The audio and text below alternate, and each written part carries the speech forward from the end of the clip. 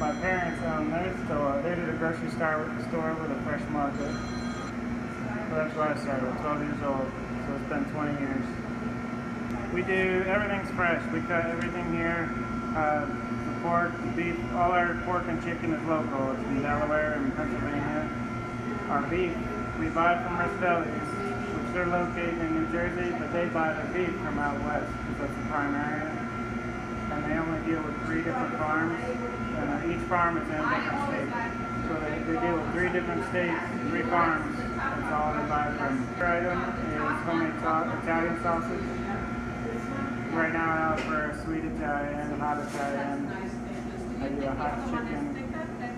And my country is the breakfast sausage with the sage.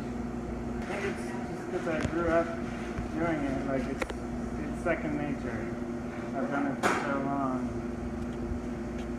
We're just trying to bring some quality back. A lot of this, a lot of places going to pre-packed meats.